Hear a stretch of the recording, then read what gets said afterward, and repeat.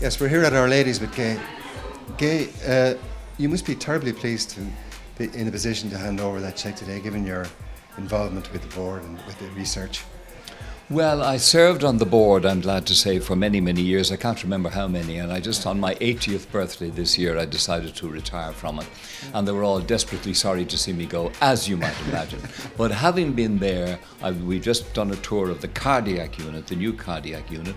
And bearing in mind that when I was on the board, we were talking about the new Children's Hospital, which is now going to be in St. James's.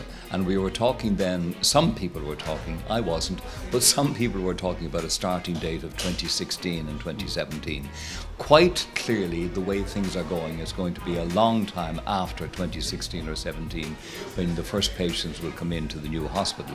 Whenever it is, my, my, my, my, my forecast now is about maybe 2022 or 23 uh, if, if they get the run of luck.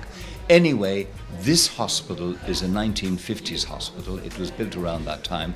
And so, because of the pressure on it, there has been bits added onto and bits added onto and bits added onto it, and it's gone up and it's gone out, and so on. And, and the cardiac unit, the last time I saw it, was a disgrace. It was absolutely outrageous, with young mothers particularly in behind a glass panel looking after their infant children who are in dire, dire straits of illness.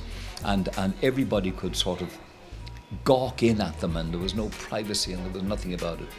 I've just been around now this morning to celebrate the giving over of this cheque and, and the new cardiac unit is just beautiful. It's mm. absolutely state of the art, and there is comfort built into it, and, and facilities and resources put into it, and so on. So that's a wonderful thing to see, and mm. it's an outstanding thing to be proud of. I am not good around sick children. In fact, I'm not good around hospitals at all.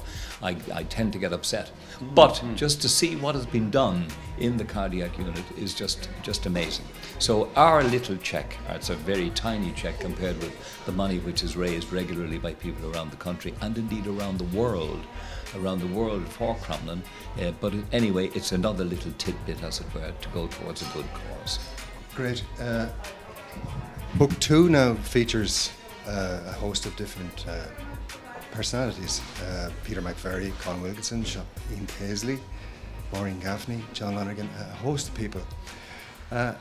Uh, I'm prompted to ask Gay that in the course of talking to so many people and delving quite deeply into their belief systems, has any of them ever said anything that, I mean, cumulatively, I'm sure that had an effect on your thinking, but has anybody ever said something that completely took you aback and made you think for days even? Mm, well, one person was the Reverend Ian, and if ever a man went to meet his Maker firmly, utterly, and totally in the knowledge that his Redeemer does liveth.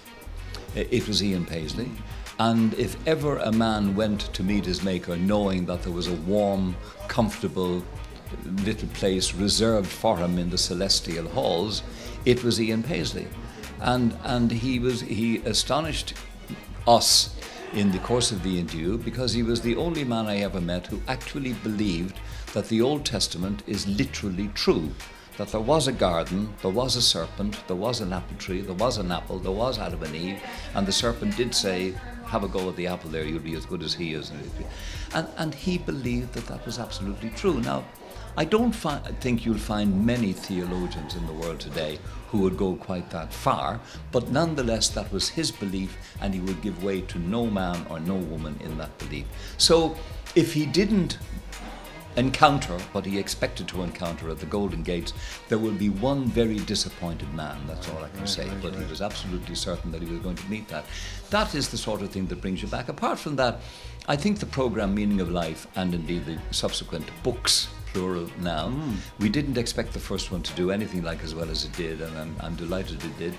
Uh, and I suppose the, the reason is that we are all looking for the same thing. We are all searching for some kind of certainty, some kind of assurance, some kind of beacon to, to, to, to guide us through life.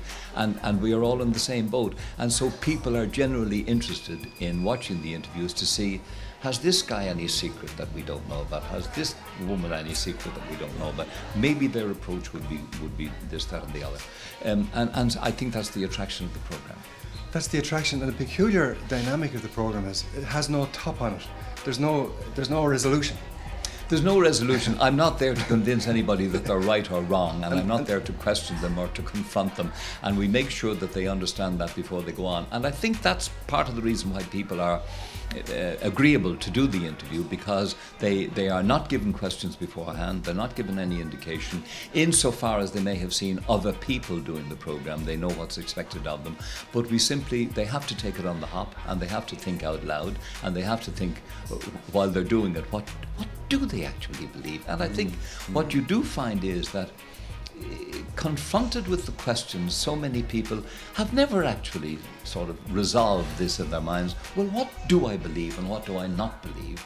And increasingly, I think that you will find certainly members of the Christian churches, including Catholics, including Irish Catholics in large numbers, they are now a la carte Catholics. They pick certain things I take that and I take that. I'm rejecting that, rejecting that. That's nonsense. I don't believe. All of that is going on all the time, and that is that is increasingly an aspect of people's lives. It seems to be standard Catholic practice to be a la carte nowadays, if you ask me, in a sort of way. It's yes. Well, I'm, I'm not going to confront you on that subject yes, because yes. I am merely here. I am Yeah. merely here to elicit what you actually believe, and I'm not going to argue with you. And I think that's that's the, the, the, the fun of the program that they're not going to be confronted by anybody saying what an idiot you are, or something. Who can we expect to see on the next series, if I can be so bold as to Well, uh, who have we? All? Yes, I, I did a lovely interview. I'm happy to say with um, Charles Spencer, who is the brother of um, Princess Di. And he is a very pleasing man and a very honest man. He was very straightforward in the interview. He's written an interesting book about Charles, the assassination of Charles I, and the and what followed when Charles II came to the throne to get his revenge in in unspeakable ways on the people who murdered his father. Who would blame him, I ask you? Yes. But anyway, um, apart from that, uh, Charles Spencer was reluctant to do interviews because it always devolves around Diana and what did, did, did all of that. And we said, Princess Diana will certainly come into the conversation, but the interview is not, not, not about her. Nor was it. And in edited form, I think it will be a very nice interview indeed. Good, good. Anyone else you'd like to mention, or No, no, Yeah, we, we, yeah. I, I'm reluctant to mention them until they're in the can, as they say, as if anything Yes. goes in the can anymore. But n- no, there's nobody else at the moment. Thank you very much, Gay. Great pleasure talking to you. Very welcome. Thank Thank, you. you indeed.